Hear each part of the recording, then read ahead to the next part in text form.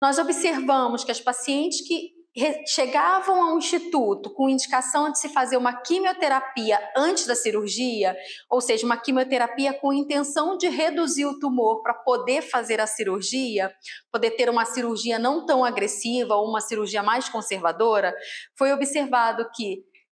6% dessa, em torno de 6% das pacientes já apresentavam linfedema antes de se fazer a quimioterapia.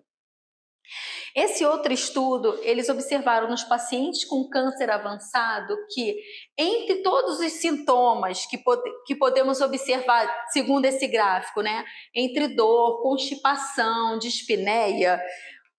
a gente observa que o edema ele foi visto em 41% dos pacientes. E nesse estudo foi visto que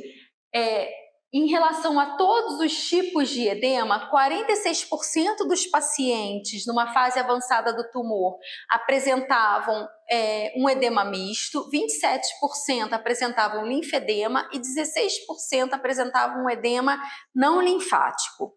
E aí a gente se pergunta qual o impacto do linfedema para o paciente que está numa fase avançada do tumor ou que descobre o tumor já por estar apresentando o linfedema, não sabia que existia um tumor e aí de repente já está com esse linfedema e vai ter a consequência, né, de que não existe uma possibilidade de cura para essa doença. Então, ele tem uma maior sensação de dependência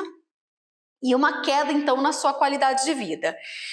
E para o cuidador, aquela pessoa que está ao lado desse paciente, o que, que acontece? Acontece um aumento grande da sobrecarga para os cuidadores. Então, como o paciente ele fica dependente desse cuidador, isso impacta também na qualidade de vida de quem está ao lado do paciente.